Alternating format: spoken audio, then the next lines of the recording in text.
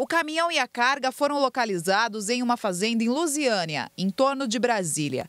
Os policiais disseram que, quando chegaram ao local, foram recebidos a tiros por quatro criminosos. Durante o confronto, dois suspeitos foram baleados. Eles chegaram a ser socorridos e levados para o hospital municipal da cidade, mas não resistiram aos ferimentos. Os outros dois conseguiram fugir. No local, a polícia apreendeu quatro armas de fogo e três veículos utilizados no crime. A carga de chocolates, avaliada em 500 mil reais, foi recuperada. O motorista do caminhão que foi rendido na rodovia estava amarrado no matagal onde o veículo foi encontrado. Apesar do susto, ele não apresentava ferimentos.